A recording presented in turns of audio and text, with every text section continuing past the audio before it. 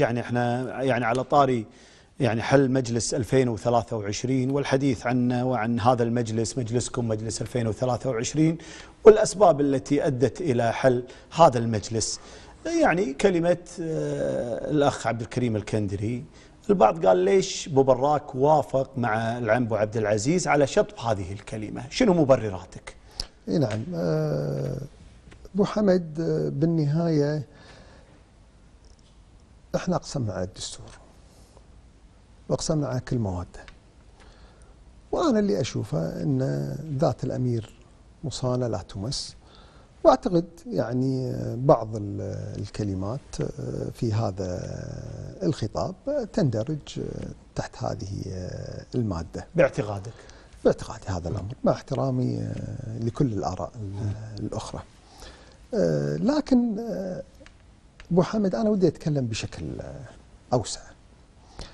وهذا رأيي أنا ترى يعني من زمان، ترى أنا يعني آه، عاصرت آه، رحمة الله عليه الشيخ يابر الأحمد والشيخ صباح الأحمد والشيخ نواف الأحمد وحاليا الشيخ مشعل. أنا أحس من المصلحة العامة إن إحنا ما نتكلم عن الأمير. وعندنا السقف عالي في موضوع محاسبة الحكومات بما فيهم رئيس الوزراء بل أعطاك الدستور أيضا انك انت تجرح التجريح السياسي. وإحنا ترى سوينا كل شيء في السابق داخل قاعة عبد الله السالم. وأزحنا حكومات فاسدة وأزحنا يعني ناس متنفذين فاسدين وكانت لنا حقيقة صولات وجولات داخل قاعة عبد الله السالم من صعود المنصات من تسكير الميكروفونات وال... والأحداث اللي أنتم كلكم آه، شفتوها.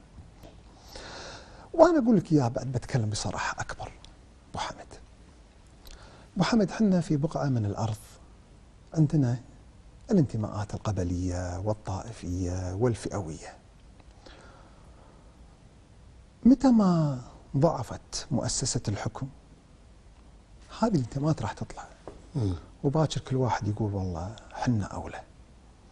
فأنا رأيي من زمان عدم التعرض لمسند الإمارة لمصلحتنا كلنا. تقويتهم من تقويتنا. وتقويتنا من تقويتهم. نعم. إضعافهم من إضعافنا. هذا صحيح. وإضعافنا من إضعافهم. فالشاهد يا أبو حمد هذا الأمر أنا سلك مشيت فيه وهذا أنا أقوله. أقول إحنا بالنهاية قدوة للآخرين.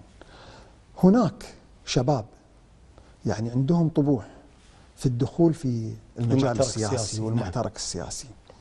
وأنا أقول لهم بالنهاية إحنا قدوة لهم بالنهاية. يشوفون كلامنا وطريقتنا وآرائنا. أتمنى أن مسند الإمارة ما يكون حقيقة محل نقاش. نقاش. في شيء الواحد يطلب مقابلة ويروح.